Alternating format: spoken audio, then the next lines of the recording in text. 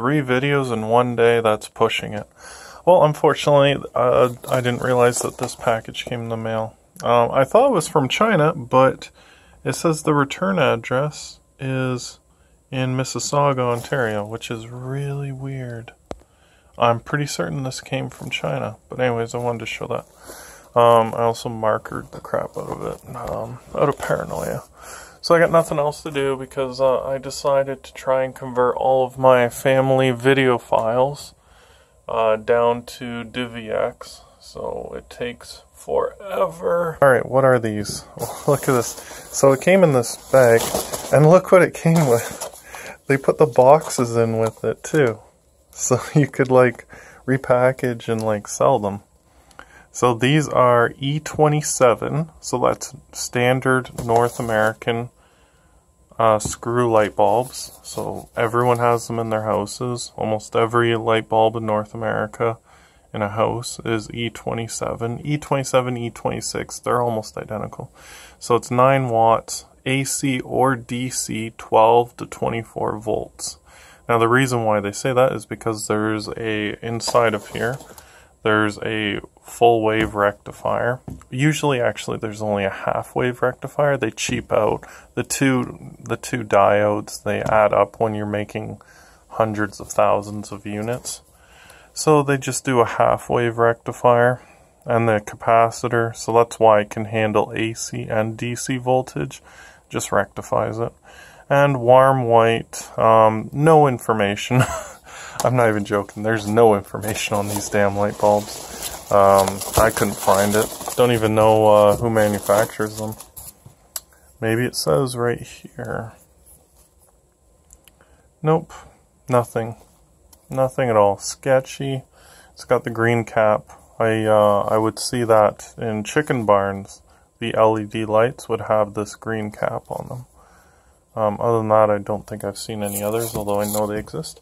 So, to prove to you that it does fit, see, look, I took out one of the, my incandescent, my old school light bulbs, and voila, she plugs in. But if I turned it on, it would blow up, because 120 volts AC rectified to DC equals like 150, 160 volts, 130 volts DC would blow up the whole thing, destroy it.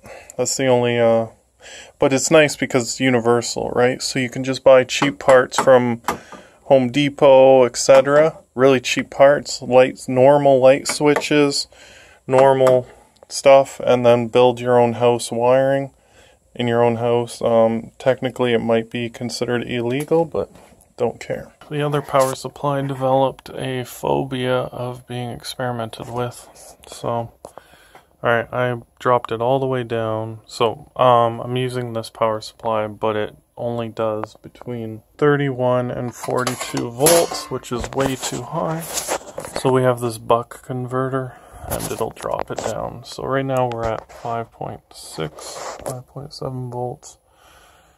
And it's wired here. We're going to be measuring amperage here. So this is going to be a little tricky. You're just going to have to bear with me on this. Uh, this is just an initial impression, so let's see when it starts to. There we go. Okay.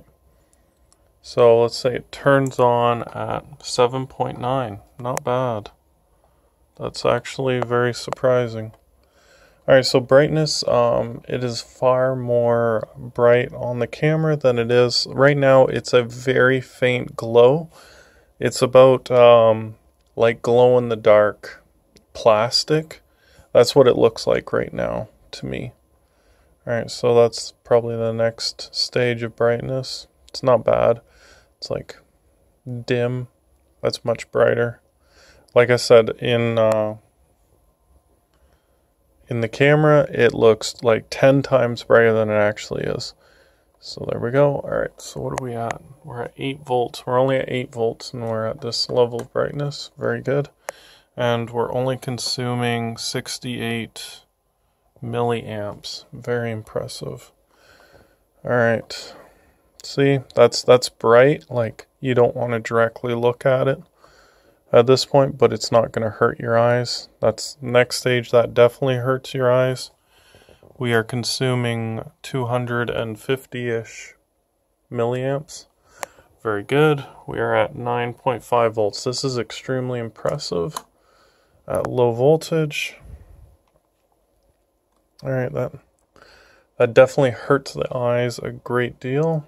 Looking at, yeah, right away, seconds in. So 0.6 amps, 10.8. Let's see if we uh, drop the amperage. What happens to the brightness? It's turned red. Still no change. I'm to try and dial it all the way down. There we go. Okay, we're getting measurable. All right, so all right, right away. Okay, brightness. Okay, it's flickering. So you can't see it very well or at all, but it's flickering. That's very interesting.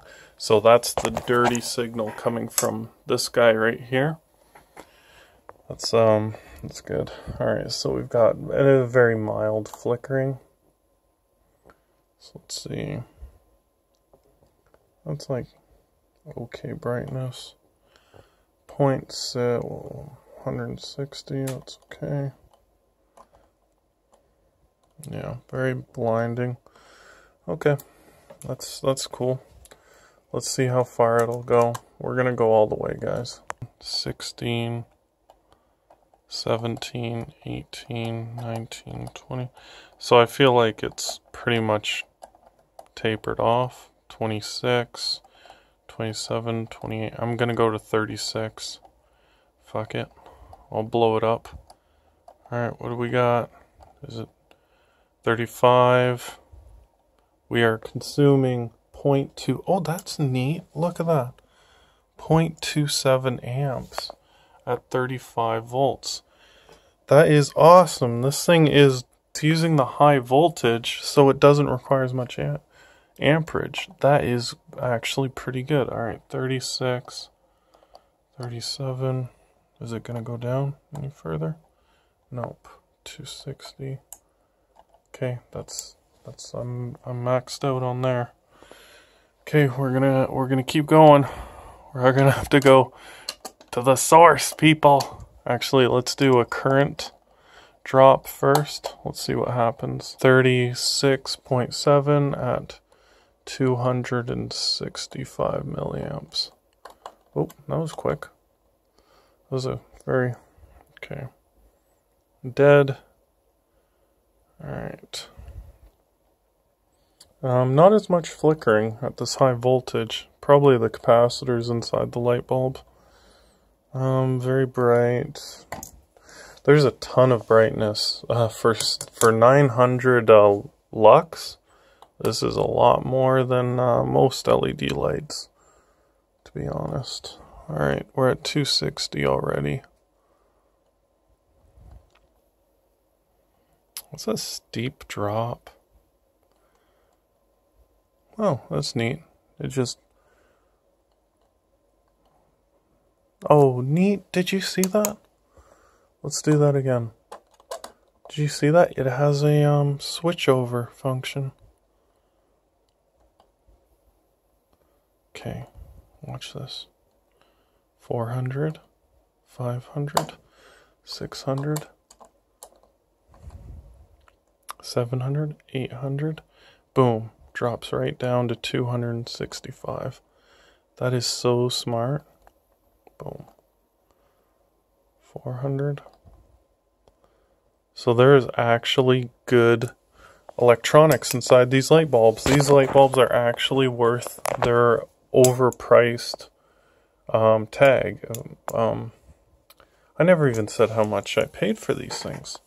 Um, my previous video did just Okay, it was $26 for four of them, so 26 divided by four. So like somewhere around 6.5 uh, dollars Canadian per unit. Um, in American money, you just times that number. Well, you just subtract um, 27%, 25 to 27% of that, which is uh, it's like $4.9, so $5 a light bulb, American, or like 650 Canadian per light bulb. Um, heat buildup is not bad at all.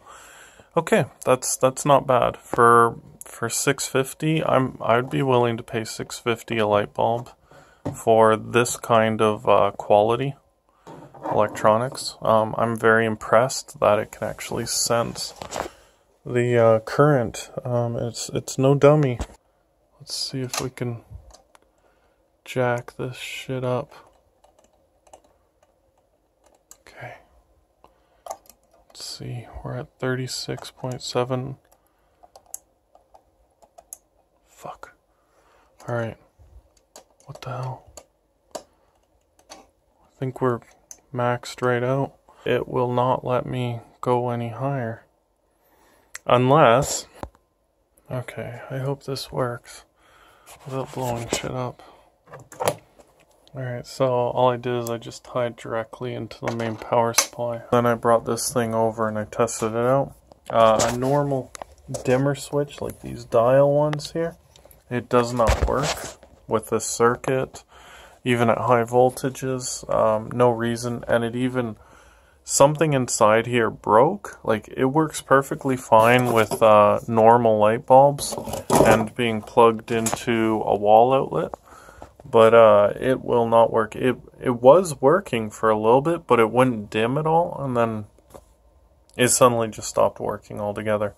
So there's something inside these um, light switch dimmers that I don't fully understand. So no, you can't. Uh, you can't use a normal dimmer switch. You would have to use one of these, which is only seven dollars, to control the dimming of your lights, and you can do it in two different ways. One with voltage and one with uh, current. So that would be pretty cool uh, for your house. And these things are so small they can fit inside. Um, you know within reason, they can fit inside of uh, a two gang box, uh, light switch box, you know, like a two light switch one.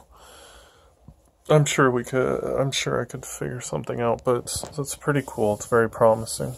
So, anyways, we're at uh, 30, 32 volts ish, and uh, point, well, point three, so 300 uh, milliamps. So we're gonna we're gonna crank it up to 41. Um, I've already done this once. Uh, it can handle up to 42 volts, but uh, none of it saved. So all of my excitement and happiness just uh, isn't gonna be recorded this time. I'm sorry. So at 33, 34. Can't see with that guy in the way. 35, 36. 37, 38, 39, 40, 41, 42, 42.2. Alright, so it just dropped slightly in amperage, and that's about it. And it stayed at the same brightness. Uh, it can more than handle it can more than handle up to 42 volts, no problem. See? We're running at 42 volts. We're going straight off the power supply. We're not even going through the buck buck converter. And uh, yeah, there you go.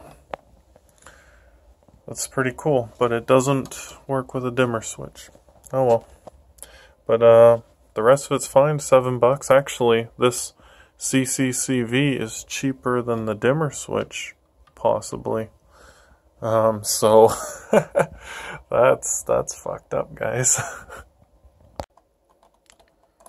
35, 34. We'll see what happens. 30, 28, 26, 25, 24. See, look at that. 21, 400, 17, 13. 10. Now it's starting to actually get. I'm thinking right here. Yeah, this would make sense. I'd say right here. So at 12 volts, 12.6 volts, and anything below 12.6 volts, yeah, we immediately start to see, especially at 11, 10, yeah. Now it's just the glow. 7, 6, yeah. Alright, I hope you liked the video. Um, that was a very fascinating first look at a 24 volt DC light bulb. Well, it's AC DC, but yeah, that's awesome. It can handle up to 42 volts. That's crazy. And uh, no 24 volt system, even with the solar panels, goes past that. Like 36 volts is the most that the solar panels should be going at. So you could run these light bulbs straight off a solar panel with no batteries or capacitors. Anyways, I hope you like that. Um, I'll link in the description the eBay connection that I got this from. So, uh, like, comment, subscribe, please. Uh, if you found this interesting, if you think these might be good for you, please let me know. I I think they are worth their money, to be honest. So, have a good day. Bye.